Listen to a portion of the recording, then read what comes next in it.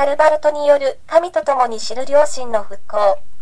20世紀において、弁証法神学を代表するカール・バルトは、ギリシア語のシュネイデーシス、ラテン語のコンスケンティアの原理を反映するために作られたドイツ語のゲビツ線を継承する際、この言葉を、さらに、日常ドイツ語で、意識的に、文字通り、共に知ると表記した上で、その場合の、共に知る相手として、神を明確に位置づけている。